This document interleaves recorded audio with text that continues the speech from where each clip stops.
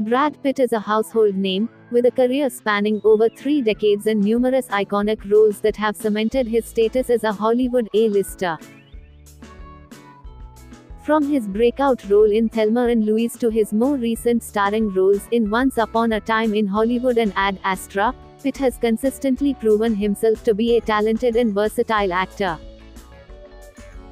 Defining fame in Hollywood can be tricky, as it's a subjective measure that can vary greatly depending on personal opinions and cultural context. Is it based on box office success, awards won, or public recognition? The answer often lies in a combination of these factors, but it's also important to consider the era in which an actor rose to fame. Furthermore, fame is also culturally relative, and what constitutes fame in one country or region may not translate to another.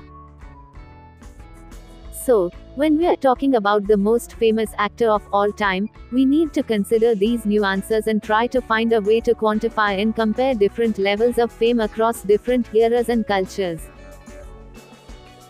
To make things even more complicated, fame is not a fixed state, it can wax and wane over time, and an actor's popularity can ebb and flow depending on their latest projects and personal life.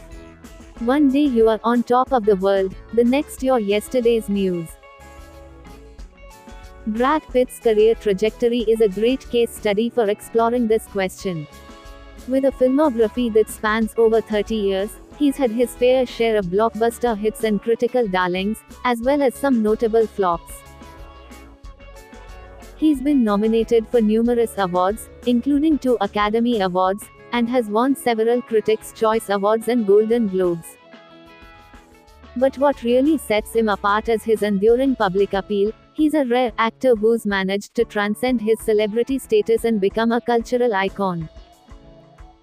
Pitt's public perception has undergone significant shifts over the years, from his early days as a heartthrob in films like A River Runs Through It and Interview with the Vampire, to his more recent roles as a serious dramatic actor in films like The Tree of Life and 12 Years a Slave. He's also had his fair share of tabloid scrutiny, particularly during his high profile marriages to Jennifer Aniston and Angelina Jolie. But through it all, he's maintained a certain level of dignity and respect, and has continued to reinvent himself as an actor and a public figure. One pivotal moment that solidified Pitt's fame was his starring role in Ocean's Eleven, which marked a turning point in his career and cemented his status as a bankable A-lister. The film's massive success, both critically and commercially, marked a new era of stardom for Pitt, and paved the way for future blockbuster hits like Troy and Mr. and Mrs. Smith. This was the moment when Pitt transcended from being just a talented actor to being a global superstar, with a level of recognition and influence that few actors have ever achieved. Another key factor that contributed to Pitt's fame was his ability to evolve and adapt to changing times.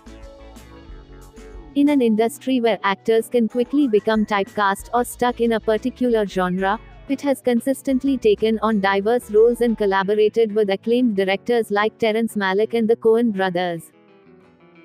This willingness to take risks and push boundaries has not only earned him critical acclaim but also kept him relevant and fresh in the public's imagination.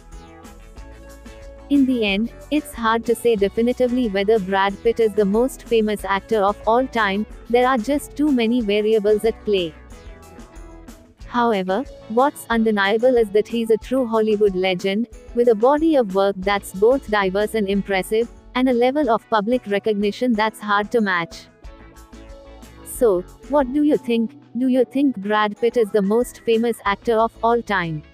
Let me know in the comments below, and don't forget to check out my other videos on movie legends and Hollywood history.